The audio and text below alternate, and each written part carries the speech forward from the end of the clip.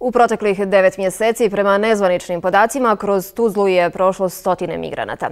Većina njih je utočište do odlaska u kampu Sarajevo ili negdje drugo, budući da im Tuzla posluži samo kao prolazna zona, potražila pod otvorenim nebom. O ovim ljudima, koji su u većini slučajeva povrijeđeni, gladni, smrznuti, a nekada i pretučeni, osim četvorice volontera i građana Tuzle, ne brine ama baš niko još uvijek e, nijedna institucija, nijedna nevladna organizacija izuzev oaze ona, e, jedne organizacije nam nije pomogla.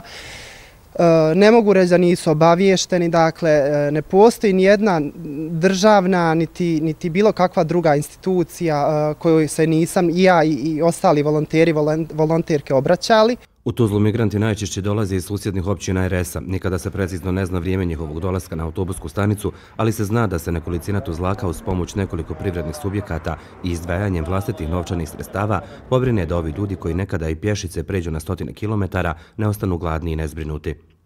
Evo sad ću vam pokazati. Znači ovo je i pokretna i kuhinja i apoteka i pekara i butik i sve.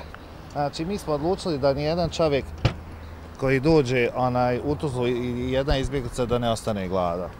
Ljudi koji se u Tuzli brinu o migrantima svjedoče i potresnim scenama.